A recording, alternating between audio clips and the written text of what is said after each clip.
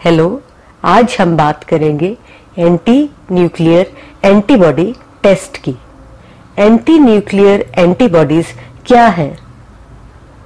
Anti nuclear antibodies abnormal antibodies हैं जो कि पेशेंट के खून में बनती हैं। यह एंटीबॉडीज जाके पेशेंट के अपने सेल्स के न्यूक्लियस को अटैक करती हैं और उन्हें डिस्ट्रॉय करती हैं।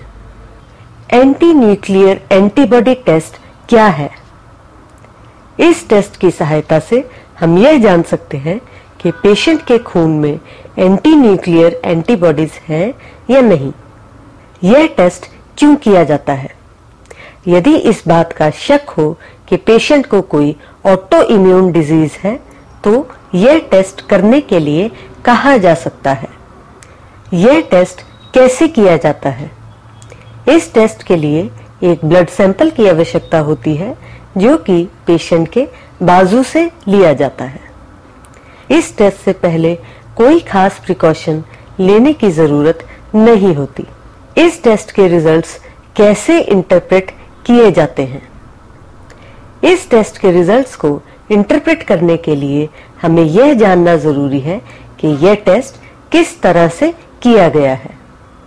इस टेस्ट को करने के दो तरीके हो सकते हैं, एलाइजा और इम्यूनोफ्लोरेसेंस। एलाइजा के तरीके से यदि यह टेस्ट किया गया हो तो हमें यह मालूम चलता है कि एंटी न्यूक्लियर एंटीबॉडी के कितने यूनिट एक पर्टिकुलर मात्रा ऑफ़ खून में प्रेजेंट हैं। यदि यह टेस्ट इम्यूनोफ्लोरेसेंस की सहायता से किया गया हो तो हम एंटीबॉडी का टाइटर और उसकी पॉजिटिविटी का पैटर्न जान सकते हैं। टाइटर से हमें यह मालूम चलता है कि सिरम की कितनी मैक्सिमम डिलीशन में एंटीबॉडी पॉजिटिव आती है। पॉजिटिविटी के पैटर्न से हम एक खास डिजीजेस का मालूम लगा सकते हैं।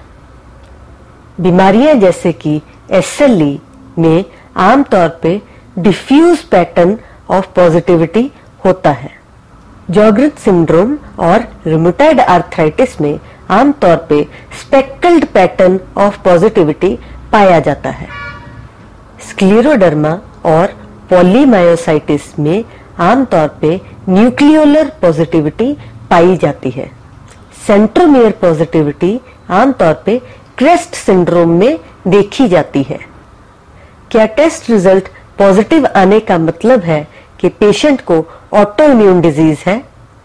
नहीं, केवल टेस्ट के पॉजिटिव होने से ऑटो इम्यून डिज़ीज़ का पता नहीं लगाया जा सकता। क्या ऑटो इम्यून डिज़ीज़ के अलावा भी कुछ कारण हो सकते हैं जिनकी वजह से एंटी न्यूक्लियर एंटीबॉडी पॉजिटिव आए? बिना ऑटो इम्यून डिजीजेस के भी कुछ ड्रग्स के सेवन से वायरल इन्फेक्शंस में और सिरोसिस के पेशेंट्स में एंटी न्यूक्लियर एंटीबॉडी पॉजिटिव हो सकती है।